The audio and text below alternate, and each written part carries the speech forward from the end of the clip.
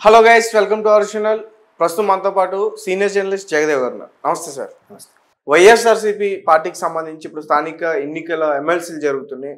So Botsa గారు ఏకగ్రీవంగా ఎన్నిక అవుతారంటూ వార్తలు వస్తున్నాయి. సో దానికి సంబంధించి. స్థానిక సంస్థల సంబంధించిన ఎమ్మెల్సీ ఇది బొత్స గారు పేరుని ప్రపోజ్ చేశారు. సో ఆల్మోస్ట్ ఆల్ ముందే కన్ఫర్మ్ అనుకున్నారు కానీ ఒక ఇండిపెండెంట్ అభ్యర్థి మైనారిటీ చెందిన వ్యక్తి ఒక ఆయన ఉన్నారు. బట్ ఆయన వైపు వ్యతిరేకత ఉన్న వాళ్ళందరూ ఓటేస్తారేమో అనుకున్నారు. అంటే మొన్న రీసెంట్గా ఆరుగురు కార్పొరేటర్లు ఎవరైతే పవన్ కళ్యాణ్ సమక్షంలో జనసేన కండువా కప్పుకున్నారో సో అట్లాంటి వాళ్ళు లోప వైసీపీలో ఉన్న కక్కలేక మెంగలేక క్రాస్ ఓటింగ్ జరిగిపోతుంది బొత్స గారు ఓడిపోతారేమో అనుకున్నారు. బట్ మధ్యాహ్నంకి మాత్రం వత్స గారు ఆల్మోస్ట్ ఆల్ కన్ఫర్మ్ అయిపోయింది. ఆ వ్యక్తిని కూడా డ్రాప్ అయిపోమని కానీ లేదంటే వీళ్ళు పార్టీలోకి తీసుకున్న ప్రయత్నం కానీ చేసే అవకాశాలు ఉన్నాయి అని అనుకుంటున్నారు. అయితే ఇక్కడ బాబు గారు తీసుకున్న నిర్ణయం మీద రకరకాల అనుమానాలు వ్యక్తమవుతున్నాయి. ఒకటి కూటమి తరపున ఎవరు నిలబడట్లేదని బాబు గారే స్టేట్మెంట్ ఇచ్చారు. ఏమని? జనసేన తరపున కానీ బీజేపీ తరపున కానీ టీడీపీ తరపున కానీ ఎవరు ఉండట్లేదు అంటున్నారు సో ఆయన ఎందుకు అలా అన్నారు? తెలంగాణలో కూడా ఇలాగే పోటీ చేయకపోవడం వల్ల కాంగ్రెస్కి మంచి మెజారిటీ వచ్చిందనే వార్తలు కూడా ఒక ఉన్నాయి. సో ఇక్కడ కూడా ఏదైనా చక్రం తిప్పబోతున్నారా అనేది ఒక డౌట్ కానీ ఇప్పుడు బొత్స గారి ఎన్నిక ఏకగ్రీవం అయిపోతున్న నేపథ్యంలో మరి బాబు గారి వ్యూహం ఏ విధంగా ఉండబోతుంది అనేది కూడా పార్టీ శ్రేణుల్లో కొంత ప్రశ్నార్థకంగా మారింది. మరోవైపు కూటమిలో పోటీ చేయడం వల్ల ఫర్ ఎగ్జాంపుల్ పిఠాపురం తీసుకోండి అక్కడ వర్మ గారు టీడీపీ తరపు పోటీ చేయాలి. బట్ పవన్ కళ్యాణ్ గారు పోటీ చేయడం వల్ల వర్మ గారు త్యాగం చేయాల్సి వచ్చింది. వర్మ గారికి ఆల్మోస్ట్ ఆల్ ఎమ్మెల్సీయో లేదా నామినేట్ పోగొట్టు ఏదో గ్యారంటీ అనుకున్నారు. బట్ ఇంతవరకు క్లారిటీ లేదు. సో ఇట్లాంటివి ఏవైనా అట్లాంటి వ్యక్తులకి అంటే వర్మగారనే కాదు ఇంకా సమ్ ఎక్స్ వై జెడ్ ఎవరైతే ఉంటే వాళ్ళు వాళ్ళకి కల్పించి ప్రభుత్వం వీళ్ళదే ఉంది కాబట్టి ఎలాగో వైసీపీలో వ్యతిరేకత ఉంది కాబట్టి బయటికి ఎవరు కక్కట్లేదు మింగట్లేదు కాబట్టి. సో వాళ్ళ ద్వారా గెలిపించుకునే ప్రయత్నం కూడా చేయొచ్చు కదా అలా ఎందుకు వదిలేశారు అనే ఆలోచన చాలా మంది కూటమి కార్యకర్తల్లో ఉంది. మరోవైపు వీళ్ళు గెలవడం వల్ల చూసారా మాకు నలభై శాతం ఓటింగ్ ఉంది. ఇప్పుడు ఎమ్మెల్సీలు కూడా మా వైసీపీ వాళ్ళే గెలిచారు. బొత్స గారే మా అభ్యర్థి. ఇలా ఇన్ని రకాలుగా మాట్లాడుకుంటున్న నేపథ్యంలో వైసీపీలకు మరొక ఛాన్స్ ఇచ్చినట్టే అయిందిగా కూటమి. అరే బాబు గత ఐదేళ్ళలో మేము చాలా ఇబ్బందులు పడ్డాము. వాళ్ళు చాలా టార్చర్ పెట్టారు. టీడీపీ అనే వాడిని నోరెత్తకుండా చేసేశారు. ఎన్నో ఇబ్బందులు పెట్టారు. అధినేత చంద్రబాబు నాయుడు గారిని కూడా అరెస్ట్ చేశారే. ఇప్పుడు మా సామాన్యుల పరిస్థితి ఏంటి? ఇటువంటి వాళ్ళు మళ్ళీ మీరు ఎందుకు వదిలేశారు? అనేది కార్యకర్తలు చాలా మరిగిపోతున్న అంశం. బాబు గారు మరోవైపు ఏమంటున్నారు? ఆగండి అయ్యా ఆగండి సంయమనం పాటించండి. వాళ్ళు కవ్వింపే చర్యలకి వాళ్ళు రెచ్చగొట్టే వ్యాఖ్యలకి మీరు రెచ్చిపోవద్దు. సమయం వస్తుంది ఆగండి అంటారు. దీనికి కార్యకర్తలు ఉడుకు రక్తంలో ఉన్న కార్యకర్తలు జీర్ణించుకోలేకపోతున్నారు. ఏంటి బాబు గారు ఇలా ఉండడం వల్ల వ్యూహం ఏమైనా ఉందా. లేదు. ఎమ్మెల్సీగా గెలిచిన తర్వాత బొత్సగారు లాంటి వ్యక్తులను విలీనం చేసుకుంటారా?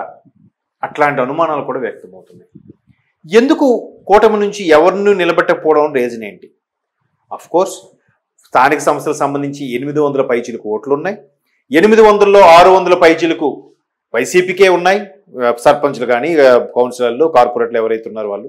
సో వీళ్ళందరూ కూడా ఖచ్చితంగా వైసీపీకే వేస్తారని నిలబట్టి పరాభవం అవ్వడం కన్నా నిలబడకుండా ఉంటేనే సరే వాళ్ళకి ఛాన్స్ ఇచ్చామని చెప్పుకోవచ్చా లేదు మాకెంత బలం ఉంది కాబట్టి మా వైసీపీ స్థానిక సంస్థల అభ్యర్థులు ఎంతమంది ఉన్నారు కాబట్టి మా ముందు నిలబడలేక ధైర్యం సరిపోక నిలబడలేదు అన్నట్టుగా వైసీపీ వాళ్ళకి ఛాన్స్ ఇచ్చేలాగా ఉంది ఇప్పుడు పరిస్థితి.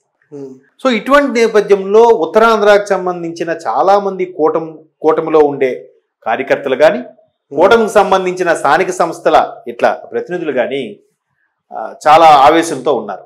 బయటపడట్లేదు కానీ ఎందుకు బాబు గారు ఇటువంటి నిర్ణయం తీసుకున్నారు అనేది. బట్ అది అందరికీ మిలియన్ డాలర్ ప్రశ్నే. బొత్స గారు ఏకగ్రీవ ఎన్నిక.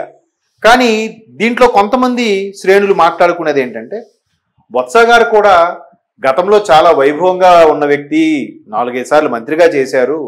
పిసిసి చీఫ్గా చేసిన వ్యక్తి ఈ రోజు ఏమీ లేకపోయేసరికి ఆయనకి కనీసం ఎమ్మెల్సీగానైనా గెలిపించుకుంటే బాగుంటుంది అని ఒక రకమైన బలమైన సామాజిక వర్గం చెందిన వ్యక్తులు ఆయన గెలిపించుకునే ప్రయత్నంలో భాగంగానే ఆ సామాజిక వర్గం నేతలు ఇటువైపు పవన్ కళ్యాణ్ గారికి చంద్రబాబు గారి నాయుడు గారికి రిక్వెస్ట్ చేయడం వల్లే బొత్స గారికి పోటీగా ఎవరిని పెట్టలేదు అన్న వార్తలు కూడా వినిపిస్తున్నాయి. ఇంకో వార్తలు ఏంటంటే లేదు బొత్స గారు టీడీపీ జనసేనలోకి వెళ్ళలే షిఫ్ట్ అవ్వలేరు కానీ బీజేపీ వైపు మాత్రం చూస్తున్నారు ఆయన చూపులు అటువైపు ఉన్నాయి. ఎమ్మెల్సీగా గెలిచాక బీజేపీ వైపు వెళ్ళిపోతారు. బీజేపీ వైపు వెళ్తే ఆబ్వియస్లీ కూటమిలోకి వెళ్ళినట్టే కదా అన్నట్టు కూడా కొంతమంది స్థానిక ప్రజలు మాట్లాడుకుంటున్న నేపథ్యం. ఇవన్నీ ఊహాగానాలు. ఇందులో ఏది వాస్తవం ఉందో లేదో మనకు తెలియదు బొత్స గారు మాత్రం టీడీపీ జనసేన కంటే వెళ్ళడం కష్టం కాబట్టి బీజేపీ వైపు చూపులు చూస్తున్నారు అన్నట్టు కూడా ఉన్నాయి. మేబీ ఇది కూడా కూటమి ఎత్తుగడల్లో భాగం కూడా అయ్యుండొచ్చుగా. రాజకీయాల్లో ఏదైనా సాధ్యమే కదా. ఇదే బొత్స గారు కాంగ్రెస్లో పీసీసీ చీఫ్గా ఉన్నప్పుడు అప్పుడు రవాణా మంత్రిగా ఉన్నప్పుడు రాజశేఖర రెడ్డి గారు చనిపోయాక కిరణ్ కుమార్ రెడ్డి గారి ప్రభుత్వంలో ఈయన మంత్రిగా ఉన్నప్పుడు జగన్మోహన్ రెడ్డి గారిని అత్యధికంగా అత్యంత ఎక్కువగా బురదజల్లే ప్రయత్నం చేసింది బొత్స గారే.